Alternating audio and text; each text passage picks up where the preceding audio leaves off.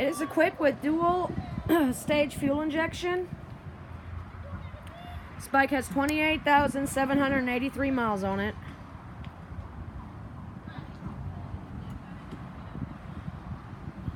Disc brakes, shorty levers.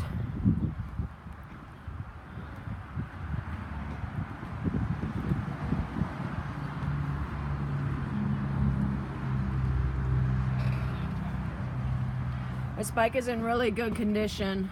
It rides really nice, and it definitely has the speed and power you need too.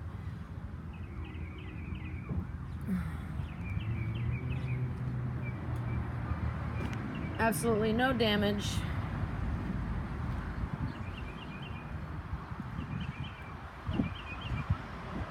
So if you're interested in this bike, come on down and see us and let's make a deal.